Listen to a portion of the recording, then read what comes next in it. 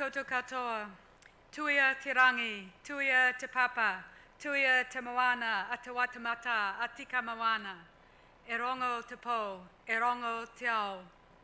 E nā reo, nā mana, nā rangatira mā, tēnā koutou, i te kaupapa e te pō, o te pō.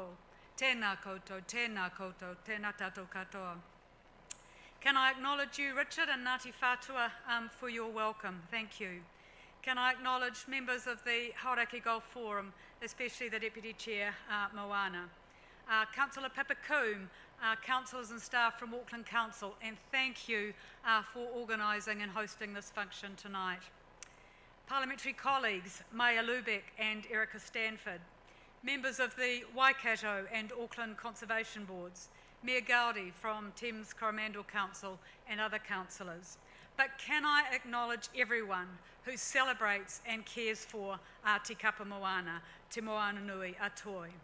And can I, like Clark, acknowledge the magnificent people who share in an inspirational way the beauty of what lies under the waves. Dave Gunson with his 21 posters, Riley and Steve Hathaway and other videographers for bringing our marine space alive to those of us who don't uh, dive. It inspires aroha, it inspires respect, it inspires care. Today, as others have said, we're here to celebrate the 20th anniversary of the Hauraki Gulf Marine Park. Ko te pātaka kai o Te Moana, Te Nui Atoi. It is our only marine park in Aotearoa, New Zealand.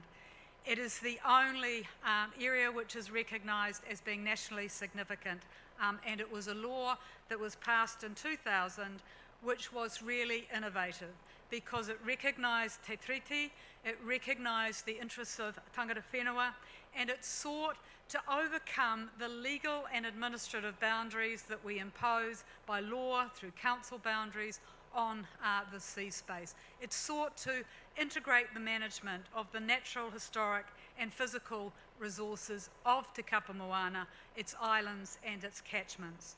It sought to establish objectives for management, and I think what Moana has talked about and the fact that the Act provides for these six State of the Environment reports by establishing objectives and then measuring whether they are being achieved, we are actually in a much better position than if we hadn't had that legislation.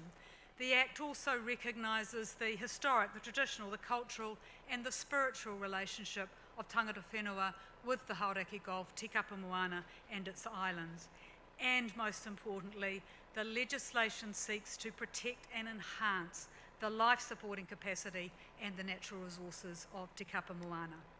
So it's 20 years since the Marine Park was established, uh, 20 years since the Forum was established, and the critical role that Moana talked about of the Forum in being a vehicle for implementing these purposes in the law and these objectives um, across these boundaries. So this kaupapa of protecting and enhancing the ability of our seas in the Gulf to support life um, is really what is the focus of the State of the Environment report. And it is charting a where we've come from and where we have to go. We, as others have noted, and Clark in particular, it is an opportunity to celebrate the, some of the successes over the last 20 years, but to reflect on how much more we need to do and the urgency of this work. And like Moana, I acknowledge Dr. Shane Kelly, Ro Kaukuri, and the team that have put this um, sixth State of the Environment report um, together, particularly the honesty, the frankness of their conclu conclusions, and the accessibility of the report with its many uh, graphics and uh, panel boxes. It's very easy to read and would encourage you to do so.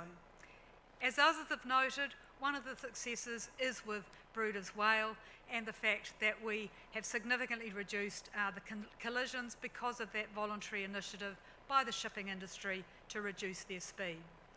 And another major success is the sustained work that has been done to free the islands of Tīkapa Moana to Moana Nui Atoi from rats, stoats, possums, and those other mammalian killing machines. We, through collaborative efforts of Te Papa Atawhai, conservation groups, um, iwi, and philanthropic support, have meant that there are now 15 more islands than there were in 2000, which are free of introduced predators and are safe spaces um, for uh, birds, for uh, uh, plants, and spaces where species like tīeke have been reintroduced, spaces now that we have 45 of these islands, depending on whether you count some of the rock stacks, which can provide stepping stones for uh, birds to move across the Gulf and to um, move to the mainland. 30 years ago, Rangitoto's pōhutukawa forests were on their way to recovery after possums had been uh, eliminated. But rats eat an enormous number of seeds. So the recent elimination of rats means that these forests are now really recovering and birds are coming back of their own accord. And then you've got that revegetation that's occurring on Motutapu, Motuihe, and Motuora. So this is just a magnificent effort above the water. And that has only been possible because of collaboration. Those efforts inspire me.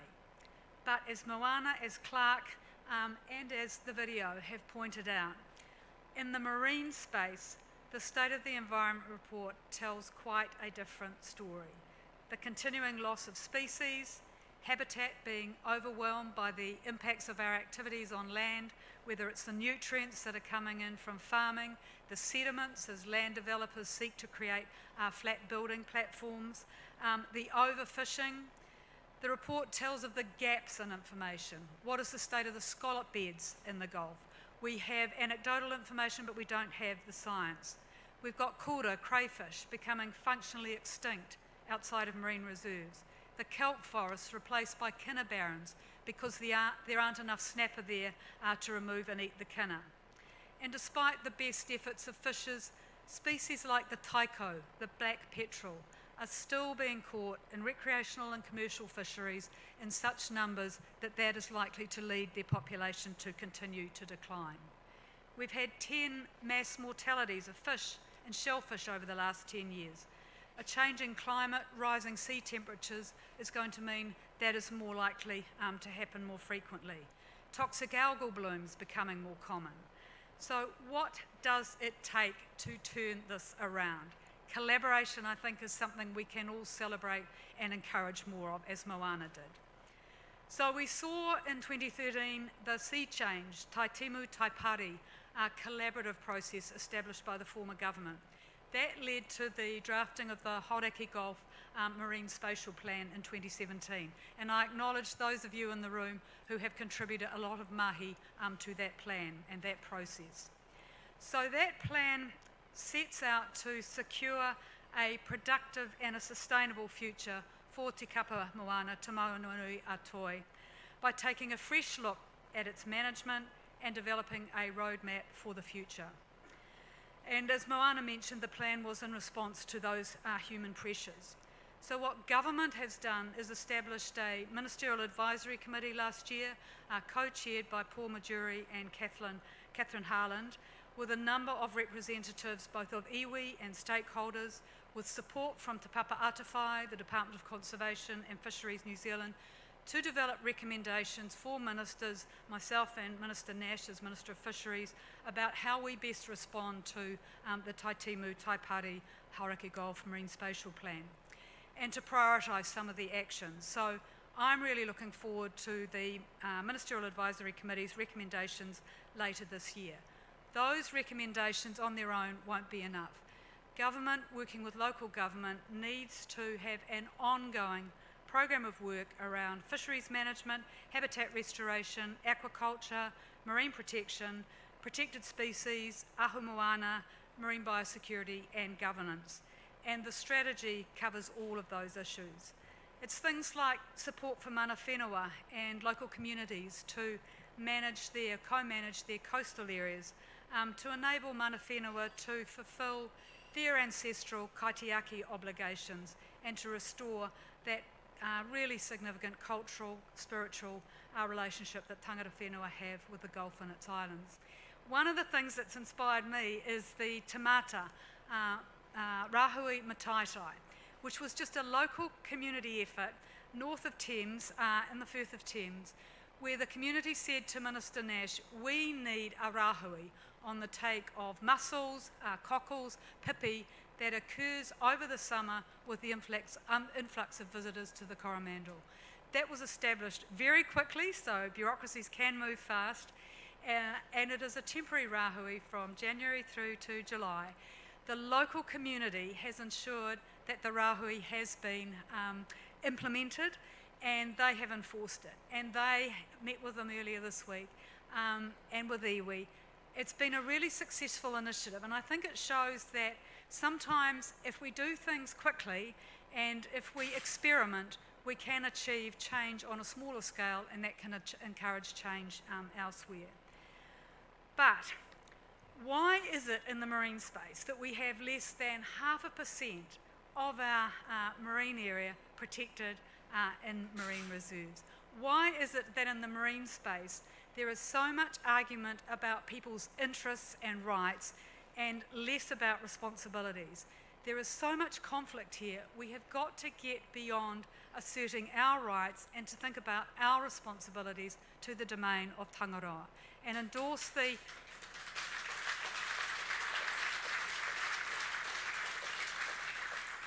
because we all share that interest in a healthy uh, Gulf with abundant fisheries and marine life. Those eloquent descriptions that Clark gave of what the Gulf was once like, we can get there again, but it means sharing, putting aside our assertion of rights. Um, would really like to see some ambitious vision, things like the fishing industry, offering to stop bottom trawling and other bottom damaging methods like Danish seining to take that step that will inspire other action. And how wonderful um, would that be? It's land developers recognising that yes, there are rules in the Auckland Unitary Plan, but they have a responsibility to really stop any sediment um, getting off the land. So the State of the Gulf report sets out the challenge. We need to respond to that challenge to put the interest of Tīkapa Moana, Te Moananui, Atoi, at the heart of all of our actions so that the Gulf thrives for its own sake and for our sake in the present and in the future. Nō reira, tēnā koutou, tēnā koutou, tēnā tātou katoa.